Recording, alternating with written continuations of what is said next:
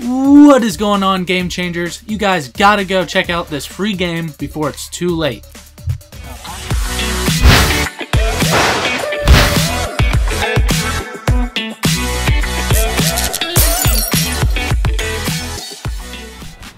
Alright, so I'm coming at you guys with something a little bit different today, and it's actually going to be one of the free games of the month if you have PlayStation Plus. Now this is going to be Tabletop Racing World Tour, and I was just looking through the free games because I thought, you know, what the heck, maybe I'll download a couple and maybe they'll be okay. But this game blew my mind. It is awesome. It is probably one of the best free games of the month they've ever come out with, and I would definitely recommend going to get it right now.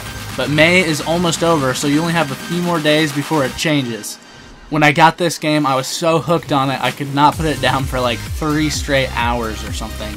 The races and events are super short, so you just want to keep playing one more and one more and just like keep ranking up.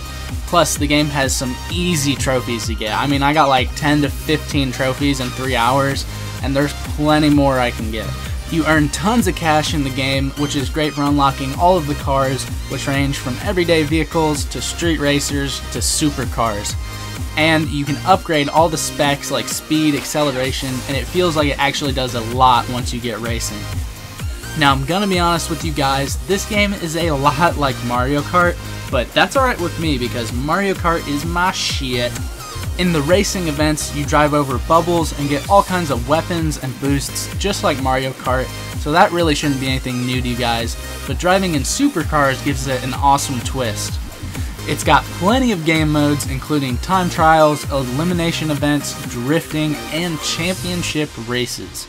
Plus, it also has an awesome multiplayer section of the game where you can hop on anytime and race any of your friends or anyone else online. If you want to race me, let me know down in the comments. And if this video helped you find a brand new game and get some easy trophies, then be like that boy. Here comes that bullshit, what up? Absolutely destroy that like button and subscribe. And I'll see you guys in the next one.